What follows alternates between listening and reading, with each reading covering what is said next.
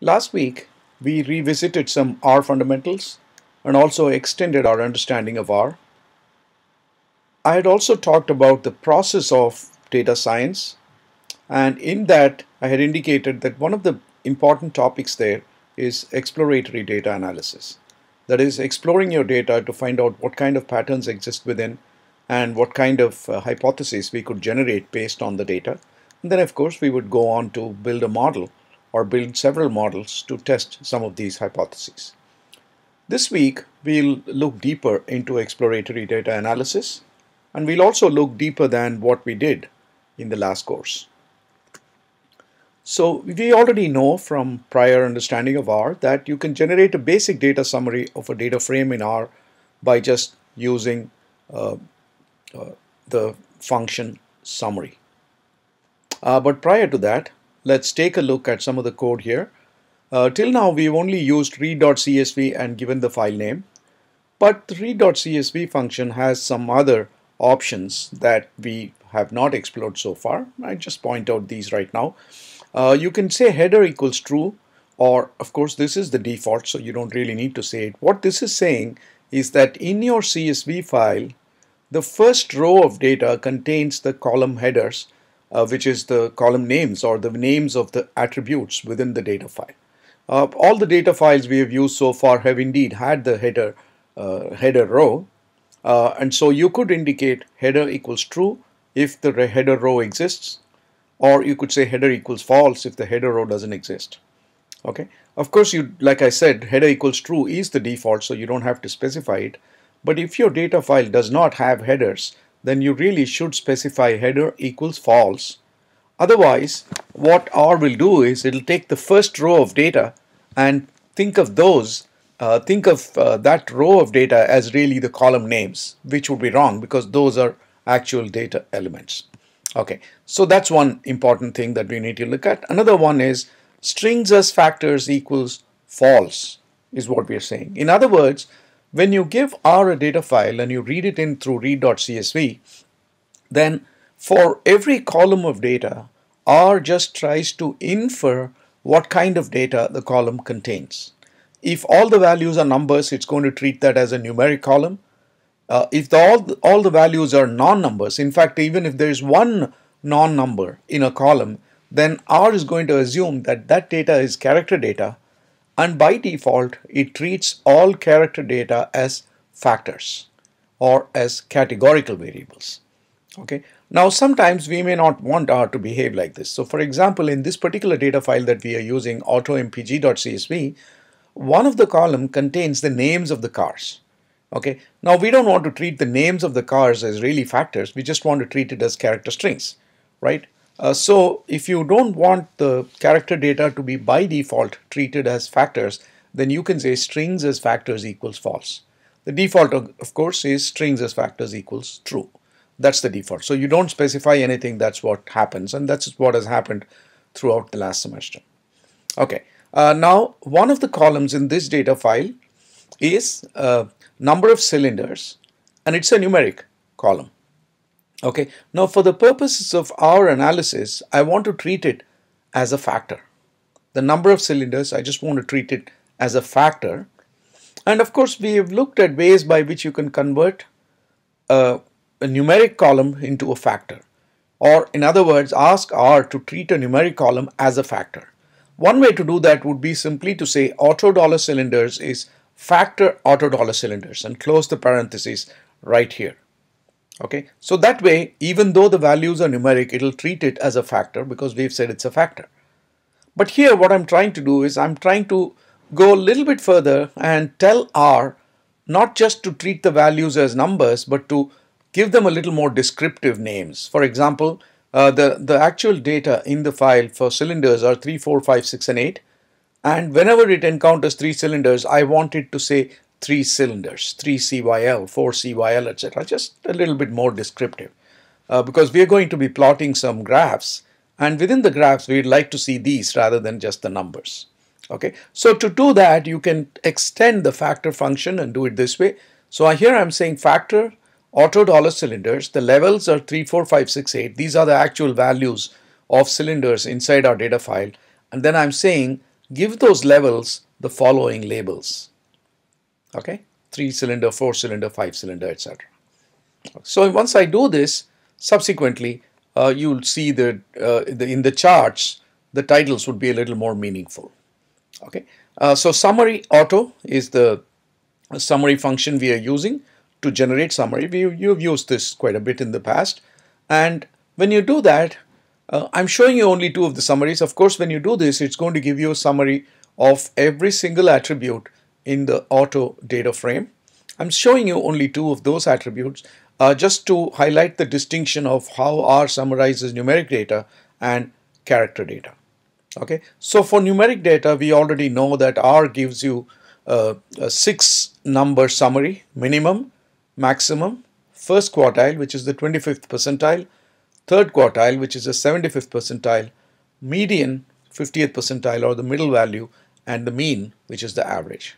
So for a numeric attribute, this is the way in which R summarizes the data.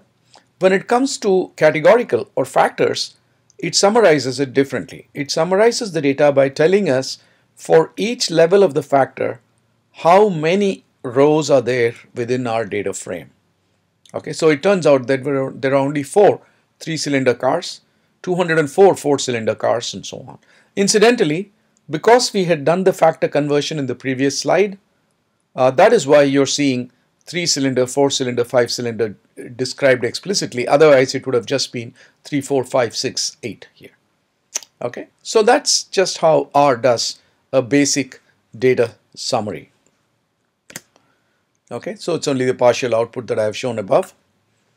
Mm, there's also another function called uh, the str or the string function and what it does is it gives you a, a string description of a variable. So for example, if I did str auto, this is what I'm going to see, right? What this tells us is that it is a data frame, data.frame. So we know that auto is a data frame. Uh, we also from know from here that it has 398 observations of 10 variables. In other words, it has 398 rows and 10 columns. Furthermore, since this is a data frame, it is showing us each of the individual variables like number, MPG, cylinders, etc. and showing us some idea uh, or giving us clearly an idea of what type of values are contained in that particular column. So number is an integer, MPG it says is a number. The difference between these two is this column contains actual integer values whereas this column contains some integer values and some non-integer numeric values. So it calls it as numeric. It shows us that cylinders is a factor uh, and so on and so on and so on. Okay, uh, so that's what uh, we have. In fact, car name uh, should not be a factor, right? Because when we read it, we told it strings as factors equals false, right? So uh, clearly this output is coming from uh, some time when I read the data without specifying that option, right? So this is really not what you will see if you read the data using the uh, using the code that I have given. Okay, you can also see use this str function to see the details of individual columns. So for example, instead of doing str auto, I could be doing str auto dollar displacement. In which case you're going to get just the string representation of that variable alone, which will look something like this. This is, uh, you know, so it, you'll just see uh, auto dollar displacement and then numeric and it'll show you this. Now these numbers that you see here are uh, some of the initial values contained in that particular uh, in each of those variables. Right? So this gives us a good overview of what the data frame actually contains what the variable actually contains.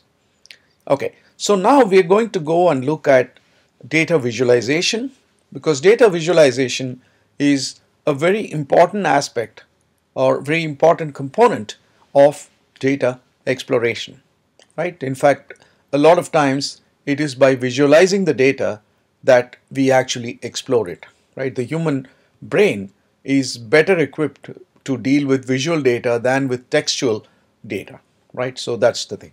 And uh, Edward Tufte is a person who is a pioneer in data visualization. And Edward Tufte has laid out certain principles of data visualization that I find to be very useful to keep in mind. Uh, the first principle that Edward Tufte says is focus on content not the visualization technique, right? Very often what happens is that we are using some tool to generate our visualizations and we look at the kind of uh, kind of charts that the tool can produce and we tend to focus our whole work around what the tool can do right? So the focus should not be on what the tool can do or what kind of visualization technique we are using. Instead it should be on the content of the data right? That is our goal should be to say well here's a story that I want to present with the data and then I specify or then I select what kind of visualization technique I use for that right? We should not let the technique drive everything in fact the uh, the, the content is what should drive uh, how we visualize and present our data that's a very important aspect the second very important aspect of data visualization a principle that Tufte has enunciated is compare don't just describe in other words every time we show some chart we should try to be showing something comparative, right? We should be showing A versus B. And we'll see lots of examples as we go forward. So for example, suppose we are given a data set, uh, the auto MPG data set itself with mileage for many cars, with the highway mileage for many cars. There's no point in just showing one particular car and saying, or uh, this is the box plot of the car mileage for all the cars in our data set, right? Rather than that, it'll be much more interesting if we could say, here is the uh, box plot of the car mileage for different types of cars. For example, by cylinder, right? So we can say, here's a box plot of mileage for the four cylinder cars and here is a box plot of the mileage for the six cylinder cars, right? So now there's a comparison between four and six cylinders or uh, multiple sets of cylinders we could show, okay? Uh, or the number of gears and so on right? So then you see a comparison and that triggers certain thought processes in our mind and it allows us to explore the data. So that's very important to show comparisons and not just show descriptions, individual descriptions. Another very important principle that Tufte says is show multiple variables. Don't try to just show a single variable or just a couple of variables because obviously when you're exploring a complex data set, uh, the mind, uh, we are looking for patterns that cut across many variables and our data sets usually have many variables, right? So once again, it is by exploring several variables together that we understand certain hidden uh, patterns within our data. So exploring multiple variables is another very important thing.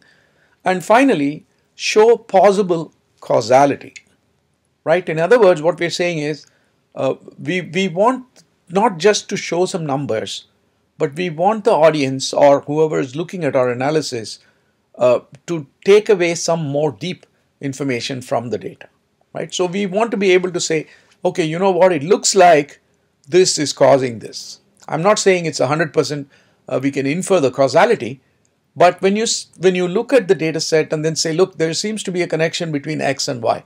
There seems to be some strong relationship here between these and these. Possibly this is causing that, right? So once you do that, it helps in our understanding of the data and it helps takes the people who are watching it towards decision making. So these are important principles of data visualization. And what we'll do is uh, at this point, we will switch over to actually looking at various uh, visualizations of the data. We'll use R to do that. And uh, we'll try and apply these principles every time as we go along.